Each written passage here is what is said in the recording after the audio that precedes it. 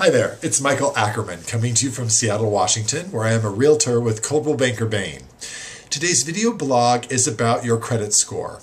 Credit scores have become increasingly important over the last couple years. It can not only dictate what your interest rate might be if you're going to get a mortgage on a home, but also if you're applying for a job, if you're going to rent, the landlord may check your credit score. It's gotten really, really important you won't necessarily know what your credit score is unless you check in every so often. And there are three credit bureaus, Experian, Equifax, and TransUnion that are the big three.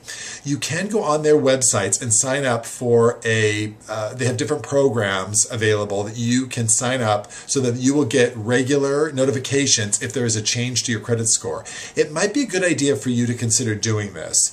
Or if you don't do it, at least check in every once in a while to make sure your credit score is what you think it should be and all the credit that's on there is actually yours. There is an increasing amount of identity theft that's going on in this country and around the world. So you really do want to make sure that no one is opening a credit card or applying for some sort of credit under your name that you might not know about if you don't reg regularly look at your credit score. So again, contact one of the big three, and they do have programs you can sign up. I think there's a, a, nominal fee, but it might be worth it to you to know that you are protected and that you are checking in every so often to make sure that your credit score is as high as it can be if you're using credit properly. If you have any other questions about real estate in general, do feel free to email me at michael ackerman at cbbain.com.